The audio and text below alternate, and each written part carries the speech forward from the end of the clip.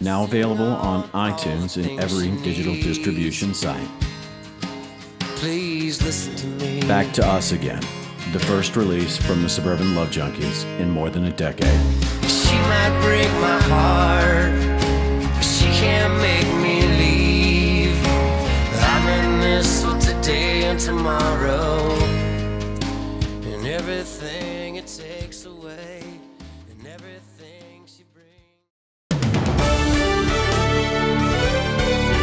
Welcome back to Local Report. Extreme drought this fall wreaked havoc in area yards and landscapes. Agriculture and business suffered. Wildfires destroyed homes and disrupted lives. The drought also raised the concentration of calcium and magnesium in our local water supply. Commonly known as hard water, this condition can clog pipes and faucets. It can lower the effectiveness of detergents, lead to soap scum on dishes, and poor performance from the clothes washer. Here to show us how to deal with the problem and illustrate cleaning a shower head and faucet is WLIE2 maintenance engineer Robert de Buys. Go? All right, I'm, I'm going.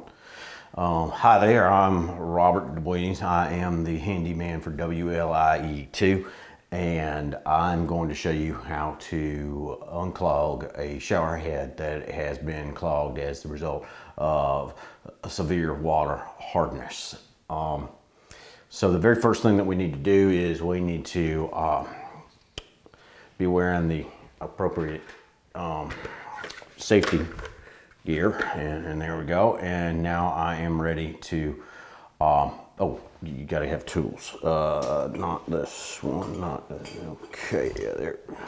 Um, and, and adjustable wrench. Um, now I'm going to step here into the shower and I am going to uh, disassemble or disconnect the uh, shower head from the uh, the the plumbing the tap here. Uh, all right now we need to make sure that it is proper Oh goodness gracious.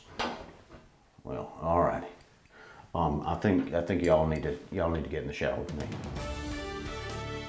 Oh, oh, all right. We have a live report on a developing story. We will resume the regular broadcast if time permits. Robert de Buys is live at Meadowlawn Park.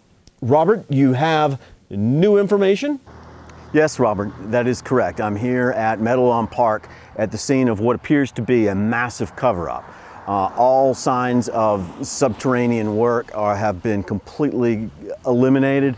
Um, there's still a little bit left, but it looks like they've just covered it up in, in turf. So there's no trace of L. Ron Hubbard's influence. Uh, no, um, there is no sign of Scientology. In fact, they've actually gone as far as to uh, place a diversion here, um, a, uh, a sign that says Meadowlawn Park. Meadowlawn Park looks like it may someday be open to the public. So yes, it, the, the cover-up is complete. We'll, we will have nothing at all to report here, I'm, I'm afraid to say. This story may be done before it's even really begun. The sidewalks are poured? That is correct. Erosion measures implemented? Yes. Uh, due to time constraints, we're going to post the rest of the home maintenance story on our website. Robert de Buys now shares with us his family trip to the Patchwork Farms nature area. I've got the WLIE2 news vehicle gassed up, loaded up, ready to go. The kids are almost ready. We're going to the park. We're going to take you with us.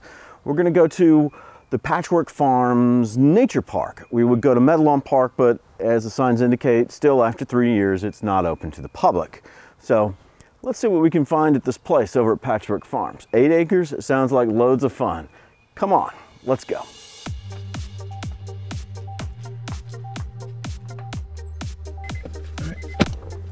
Alrighty then, so is everybody ready to go see the uh, Patchwork Farms uh, Nature Park?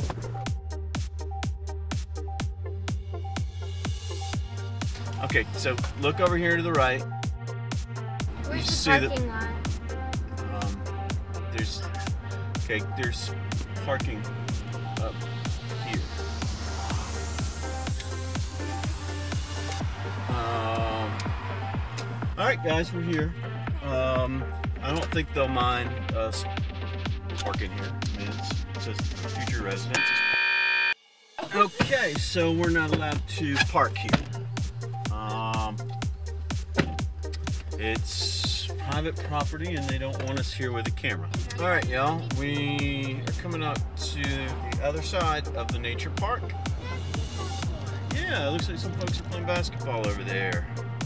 Um, uh, there's no place to park over here either. Let's see if we can find where the, the we can try to go over there where that church is where there's people playing basketball.